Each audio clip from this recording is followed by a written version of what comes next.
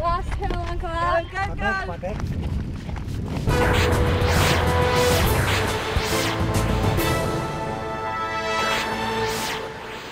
So Art Schwanke just got back on his bike. We're gonna see if we can jump into the follow vehicle before they take off. Hey, can I can I jump in here? Um, oh, look, we're, we're a little Can you bit- fit in? I can. Yeah, Okay, yeah. well, Yeah, you'll well, here we sorry, go. All right.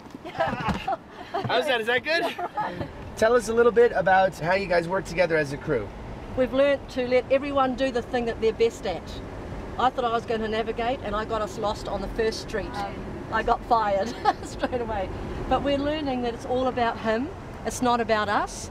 And so if we get frustrated and hot, too bad, because it's all about him. They're here for me. It's all about me. Asking me what I want. Do I need anything? So, We've been looking at that backside for four days now. look at this place. Look at where you're riding, Uncle Art. Can you put your mic down? How are you doing? Stuffed?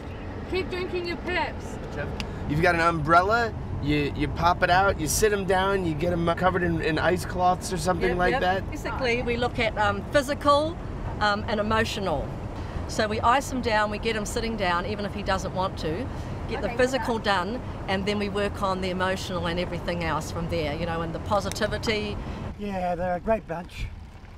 All novices, but you know, they're having a fun time doing it though. Almost there, Uncle Only 15 miles left.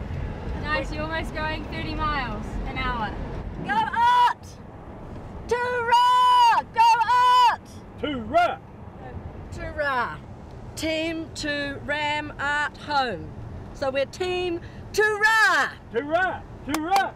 You know, we do our, our Toorah cheer whenever we can, but it's actually really good for us as a team um, because we only came together really two days before the whole thing started. And so we've really sort of come together on it. So the riders doing Race Across America, it's like they're climbing this mountain and they're making their way to the top and they're finally gonna get there in Annapolis and they're gonna put on that jersey and all the glory is theirs. But you gotta remember that there's these teams behind them that are cheering them on, they're ringing cowbells, they're squirting them with water, and they're propelling them to the top so that they can get there and they're an important part of the team too. Team Toorah! Team Toorah!